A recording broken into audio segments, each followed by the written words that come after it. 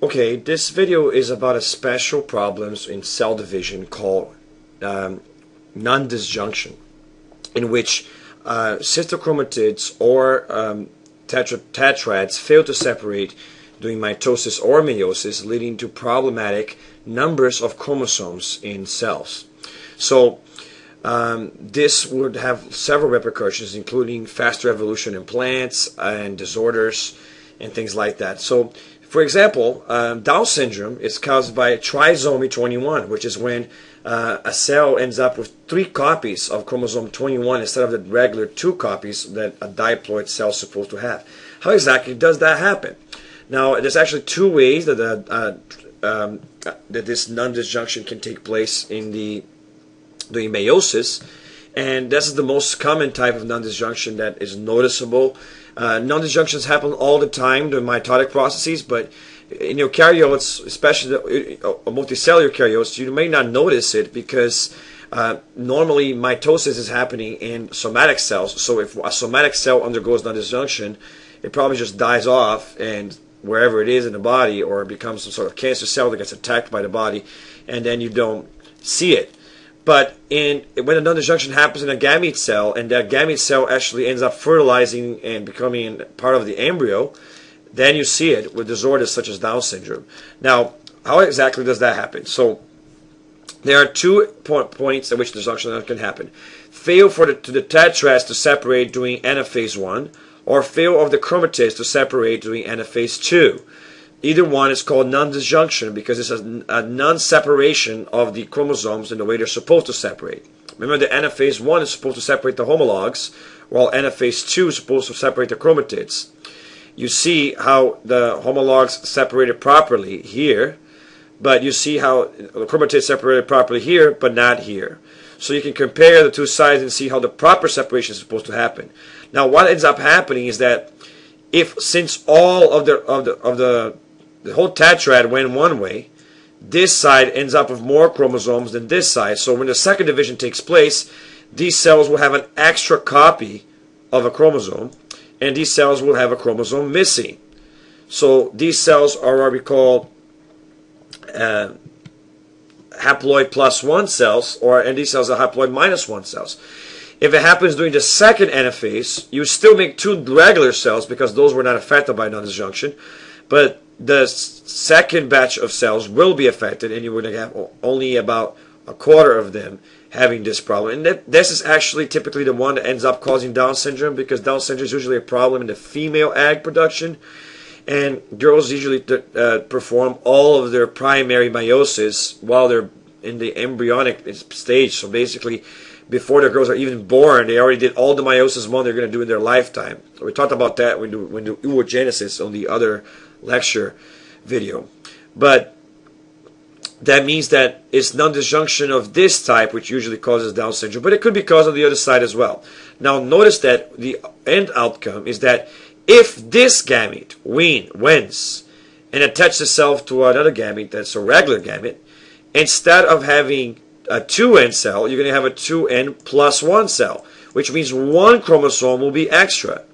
Now, normally, if this happens in, say, for chromosome 1 or chromosome 2 or chromosome 3, or lots of other chromosomes, it might actually cause the death of the embryo because it causes confusion in the DNA code that causes uh, problems which are irreversible and usually causes the embryo to be insuccessful and undergo spontaneous abortion or miscarriage. But in um, certain cases, such as trisomy 21, this gene will actually not cause enough problems for the, for the death of the embryo, and you actually get uh, an organism which is not exactly standard, you would say, right? Uh, so some examples of that are Down syndrome, Klinefelter syndrome, uh, Turner syndrome, uh, triple X syndrome, Edwards syndrome. All of these things we talked about when we do uh, mutations in another lecture later in the year. So trisomy is when you have three copies of one chromosome. So, for example, if you have chromosome type 1, 2, or 3, and they're supposed to be diploid and have two copies of each, trisomy would be when you have three copies of one. And then you also have monosomy when you have only one copy of one, because this gamete is the one that won, and basically then you have one missing, a, a gamete missing from that, that set. Also, notice that it is possible for your mom and your dad both to undergo non-disjunction on the same chromosome and therefore create a situation where the embryo is missing an entire chromosome set. So basically, it's missing the entire chromosome 21. But in most cases, that will cause the death of the embryo and the embryos will not survive. So those things usually don't show up. And if they happen, you don't even realize they happen because the embryo does not survive. Also, notice that as we grow older, cell division becomes problematic and defective and less accurate. So that as the age of the mother or the father goes higher, non-disjunction becomes more common and your chances of having problems like Down syndrome in your baby increase. All right? Um, and there's also a different kind of non-disjunction called polyploidy. All right? We're going to talk about that on the next slide. So another one of these abnormal cell division processes is what we call polyploidy. And instead of, of when, when you basically have an abnormal number of one pair of chromosomes, so instead of having a pair, you have three, which is trisomy. Instead of having um, a pair, you have one, which is monosomy. In aneuploidy, uh, in polyploidy, sorry, you have the entire chromosome set uh, with an abnormal number. So for example, up here in the right hand corner, you see a karyotype showing you that every single chromosome, without exception, is a triplet. And so instead of being uh, two homologs, you have three homologs. So that's what we call a triploid cell. We mentioned that earlier in the first meiosis video, that sometimes cells can be triploid cells. And I mentioned it then that it had something to do with uh, plant evolution. So some organisms, including plants, uh, will have an event in which they will create gametes, which are basically non-disjunctive gametes, which one entire set of gametes receive this. So when meiosis happens and you have one cell with uh, two types of chromosomes, so let's say, for example, you have chromosome type blue and chromosome type red, and then that cell undergoes the initial meiosis, one cell will receive no chromosomes at all, so that cell just gets no chromosomes. Meanwhile, that cell, which is supposed to only receive half the homologs, will receive both the homologs, and then this will then undergo uh, a second reduction division and become a gamete, but the gamete is actually diploid because of this. And so you actually end up with diploid gametes. Now, if one of these diploid gametes combines with another diploid gamete, you create something that's a doubled version of the original species. And then now you have a new fruit species that may or may not be viable if it's if it can uh, be fertile, if it can actually produce offspring, uh, which accidentally happens sometimes, you may end up getting a species that is viable. Now, how can it be? How can this be possible? Like uh, we mentioned that in aneuploidy, one even one extra chromosome can cause confusion and problems for the cell. But in some plant cells that actually works. All right. For example, here you have a natural strawberry, a wild strawberry. I bet you've never even seen one of these, and because nowadays through agriculture, polyploidy has been induced in the strawberries. In the strawberries, instead of being the regular diploid two-end strawberries, nowadays strawberries are octoploid or eight-end cells, where instead of having two copies of each chromosome type, you have eight copies of each chromosome type. And this all happened through successive processes like the autopolyploidy that we saw here described. Now what this will do is three things. First, it will create more DNA for the cell. And second, it will create more variability too. Basically, instead of having just one version of the chromosome, you have eight versions of the chromosome. So there's more variation. And within the variation, you also have protection because as long as you keep at least one chromosome that has that has a decent copy of the way that things are supposed to be, you can have seven screwed up chromosomes and that might not necessarily cause a problem for the organism. So by adding these extra chromosomes, you add new changes without necessarily sacrificing the the things which are working out. But unfortunately, this will only work in organisms that can sustain this. And obviously, this can't keep going on forever because eventually the cells will not be able to contain all that DNA inside the cells, especially since cells can't grow up indefinitely. But definitely, polyploidy will accelerate plant evolution. Now, a different version of this, and it gets a little more complex, is called allopolyploidy, and which is when species combine. So instead of a new species coming from a combination of two uh, diploid gametes from the same species, this is when two species hybridize or combine. So let's see how that happens. So you see here on, the, on type 1 of allopolyploidy, when a species A, say a species that has four chromosomes, and another one that has six, both do gametes, the way they always normally do.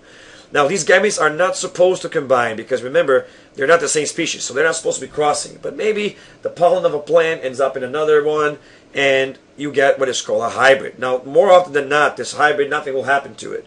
But if this hybrid zygote actually somehow does undergo mitosis and forms a multicellular version of that, um, you may actually end up with a with a bigger hybrid. Now, imagine that you have this this uh, hybrid that's hap we have three chromosomes from one and two chromosomes from another.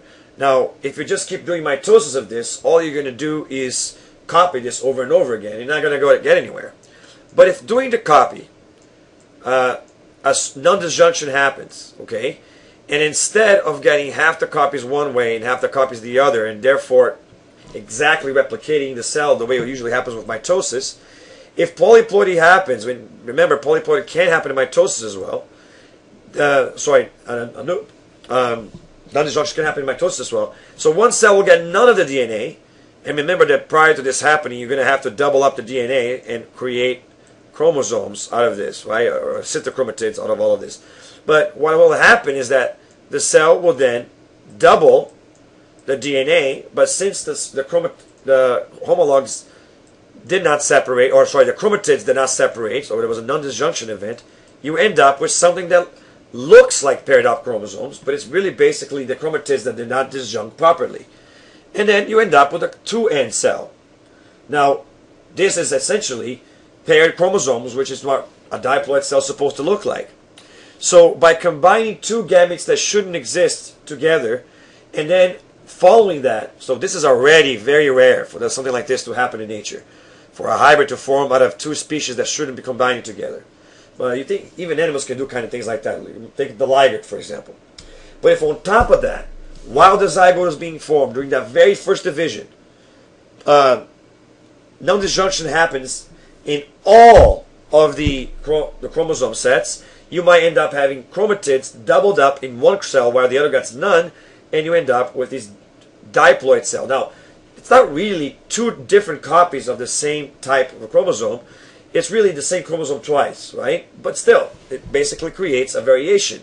Now, if somehow this cell then undergoes meiosis and forms gametes, which can which can reattach to themselves and fertilize and form of a viable adult, that means that you what you actually accomplished is a new species. Because by definition, a species is something that can actually produce offspring. So if this new hybrid diploid thing can somehow uh, undergo meiosis and find another one just like it, or even in itself, and self-fertilize, and create a viable, viable zygote, what you end up, technically, is a new species, because this is a hybrid that can actually reproduce. So as you can see, uh, successive combination of gametes that shouldn't combine, followed by a non-disjunction event, can lead to the formation of a new species by a combination of two. And this that do, does tend to happen in some unicellular organisms as well as some simple plants. Now, in here you have a different variation of the same process, and basically you have two species. One will, will create a gamete that um, is the same kind of thing that happened up here. So a non-disjunction creates a diploid gamete, so it's a problem. Except this time, uh, what happens is that that unreduced gamete will go ahead and combine with the gamete of, a, of another species, all right, and then ca- cause something that's um, half a, half haploid, half diploid. So like looks a little like a triploid cell.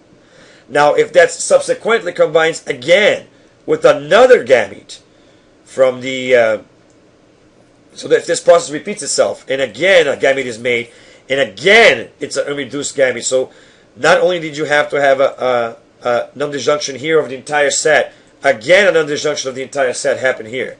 And not only did you have to have a hybridization event here, again you have a hybridization event here.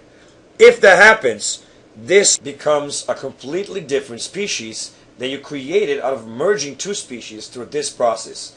So as you can see, all three types of polyploidy involve problems such as non-disjunctions in either meiosis or mitosis or both, and that will create variation that actually generates new species uh, by either combining with the same species with itself or with other species. All right. So this is the strange process of polyploidy, which actually accelerates evolution in some plants and other unicellular organisms.